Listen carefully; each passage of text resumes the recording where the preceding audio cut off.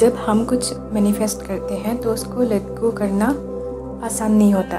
तो आपके साथ भी अगर ऐसा होता हो तो बस ये एक स्टेटमेंट है, इसको रिपीटेडली बोलो।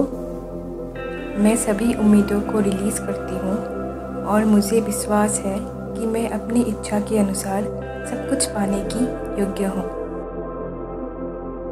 मैं सभी उम्मीदों को रिलीज़ करती हूँ, और मुझे विश्वास है कि मैं अपनी इच्छा के अनुसार सब कुछ पाने की योग्य हूँ।